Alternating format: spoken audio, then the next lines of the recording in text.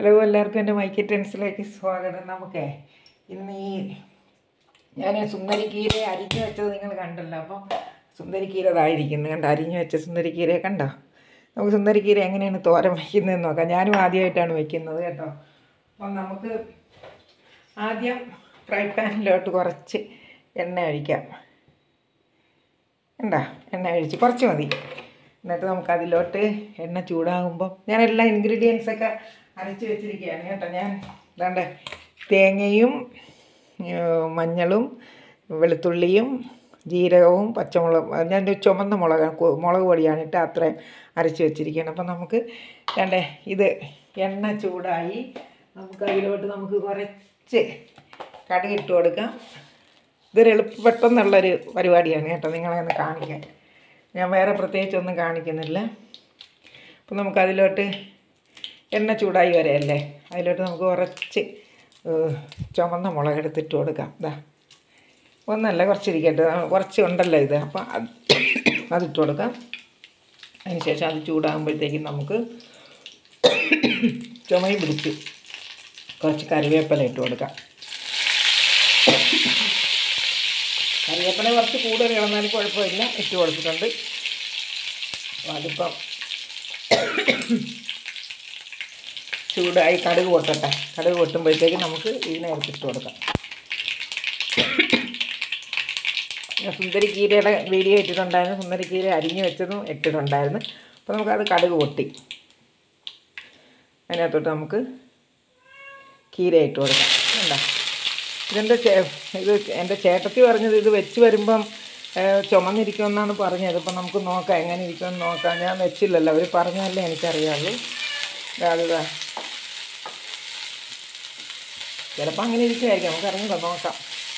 നമുക്ക് അതിലോട്ട് കുറച്ച് ഉപ്പ്. വേണ്ട ഉപ്പ് വേണ്ട? ഒഴിച്ചു കൊടുത്ത്. ആവശ്യത്തിനുള്ള ഉപ്പ് ഒഴിച്ചു കൊടുക്കണം കേട്ടോ. ഇത് വേണ്ട? ഇളക്കി കൊടുക്കണം. എളുപ്പം വെച്ചെടുക്കാൻ പറ്റും. കീരയൊക്കെ അല്ലേ എളുപ്പം വെച്ചെടുക്കാൻ പറ്റും.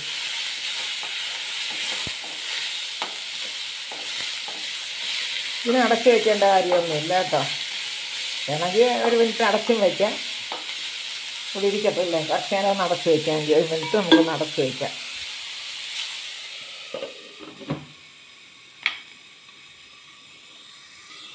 നമുക്കൊന്ന് തുറന്ന് തുറക്കാം. തുറന്നിട്ട് എന്താണെന്ന് നോക്കാം. അത് ശരിയായിട്ടുണ്ട്. കീരയല്ലേ? അപ്പോൾ എന്താ ആ ചേട്ടത്തി പറഞ്ഞത് ചുമന്നിരിക്കുമെന്നാണ് പറഞ്ഞത്. പക്ഷെ ചുമന്നൊന്നും ഇരിക്കുന്നില്ല. ചുവപ്പും പച്ചയും കൂടി. നമുക്ക് അതിലോട്ട് ഈ അരപ്പ് തട്ടി കൊടുക്കാം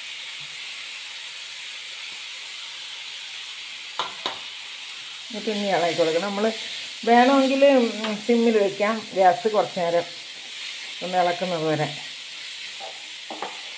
ഞാൻ കുറച്ച് കളർഫുൾ ആകാൻ വേണ്ടിയാണ് ഇന്ന് ചുമന്ന മുളക് പൊടി തുള്ളി എടുത്തിട്ടുള്ളൂ കേട്ടോ. വേണേൽ കാന്താരി എടുത്തിടായിരുന്നു. ഞാൻ വിചാരിച്ച് ഇങ്ങനെ ഇളക്കട്ടെ എന്ന് വിചാരിച്ചു. ആദ്യം ഒരു ദിവസം ഇങ്ങനെ വയ്ക്കുമ്പോൾ ഇങ്ങനെ ഇരിക്കട്ടെ എന്ന് വിചാരിച്ചു. ഇതിപ്പോൾ നല്ല കീരത്തോരൻ വയ്ക്കുന്ന പോലെ തന്നെ നമ്മുടെ സാധാരണ കീരത്തോരൻ ചുവപ്പും പച്ചയും കൂടെ അരിഞ്ഞിട്ട് എങ്ങനെ ഇരിക്കും. അതുപോലെ ഇരിക്കുന്നു. പക്ഷേ ഇത് രണ്ടും കൂടെ ഒന്നിൽ കമ്പൈൻ ചെയ്ത് വന്നിരിക്കുന്ന കീരയാണെന്നല്ലേ ഉള്ളൂ. കീര കണ്ടില്ലായിരുന്നു. ചുമപ്പ് പച്ച ബോർഡറും ചുമപ്പ് അതിന്റെ അകത്തും. നല്ല രസമായിരുന്നു കാണാൻ. ഞാൻ കാണിച്ചിട്ടുണ്ടായിരുന്നു. അതൊന്ന് നോക്കിയാൽ മതി കേട്ടോ. സുന്ദരിക്കീര എന്ന് പറഞ്ഞ് നോക്കിയാൽ കാണാൻ പറ്റും. അപ്പം അത്. പിന്നെ ഞാൻ നല്ലപോലെ അരിഞ്ഞത് ഞാൻ കാണിച്ചായിരുന്നു ഭംഗിയായിട്ട്. എല്ലാം കാണിച്ചായിരുന്നു. അപ്പം ഞാൻ വെച്ചിനിപ്പോൾ കീര തോരങ്ങ വയ്ക്കുന്നതും കൂടെ ഒന്ന് കാണിച്ചേക്കാമെന്ന് വെച്ച് ഉപ്പുണ്ടോ എന്നൊന്ന് നോക്കട്ടെ.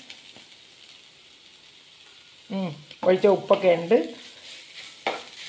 നല്ല രുചിയായിട്ടുണ്ട് നല്ല ടേസ്റ്റിയാണ് കേട്ടോ.